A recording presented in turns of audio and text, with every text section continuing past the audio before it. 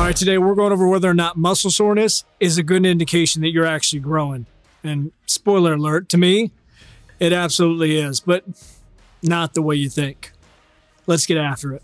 So, I'm going to have to do something with After Effects because I used to have a bunch of poster boards, but in a previous video, I just drew a bunch of penises because I couldn't get the angle just right. So, that's why I don't have them. So, if you've seen a video covering this in the past, then more than likely they presented this topic by introducing you to the three mechanisms of growth. You got mechanical tension, which is just simply progressive overload, metabolic stress, which is my personal favorite, that's constant tension or the autoerotic asphyxiation of muscle building, and then finally, muscle damage or muscle soreness. And the contention comes from the fact that soreness does not have to be present for growth to take place. You can go the route of mechanical tension or metabolic stress and get very little soreness, but still experience growth. That's why you'll see people lose their fucking minds, smashing their keys, saying soreness does not equal growth. But here's the thing even the scientific community can't agree on what muscle soreness is. Every year they come up with a new study where they electrocute some people, and then they realize, well, maybe it's not in the muscle fibers, maybe it's in the connective tissue.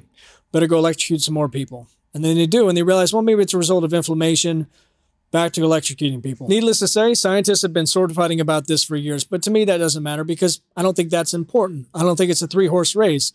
I think it comes down to choosing whether you're going to train based upon mechanical tension, which is progressive overload, or metabolic stress, which is constant tension, and using muscle soreness as your measuring stick. And the reason I argue that muscle soreness does equal growth is because it's your feedback loop for everything related to building muscle. For instance, how do you know whether or not you properly hit the muscle you were trying to target?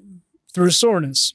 If you try to hit traps and you wake up the next morning, you got a horrible pain in your gooch, you missed it. And it's also a great measuring tool to figure out if you're training hard enough. I don't care if you're focused on constant tension or progressive overload. If you train legs and the next day you feel like you could train them again, I don't need to see your logbook to tell you that you did a horrible job. And I've also heard people say you shouldn't aim to be overly sore because it'll have a serious impact on performance. Say you train legs on Thursday, you go to hit them again on Tuesday, but they're still sore, you're going to take a performance hit. But that's also assuming you're a four year old and you can adjust your schedule and take an extra day or two off of rest because to me, you earn the right to rest more. Your body will adapt and you won't need as much rest in the future. But what you can't do is avoid it because the inevitable next question that people ask is, well, how do I reduce soreness? And not only is that not the right question to ask, it can be counterproductive because if you try to take a bunch of anti inflammatories or really do anything to reduce the inflammation, now you're inhibiting muscle growth because you just spent all that time in the gym destroying yourself. And now you're going to run from that pain and not let your body adapt. Here's a good analogy to relate it to. Say you come home and you find your wife chugging a bunch of wieners. You can't run to the bar and down a bunch of whiskey because we've all seen the music video for Whiskey Lullaby. Didn't turn out great. So at the end of the day, soreness doesn't equal growth, but it's more important than that.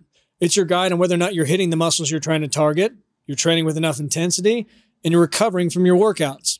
It's a pretty big deal. And a quick note on the last one if you're not recovering like you used to, that's a good sign that there's something internally going on.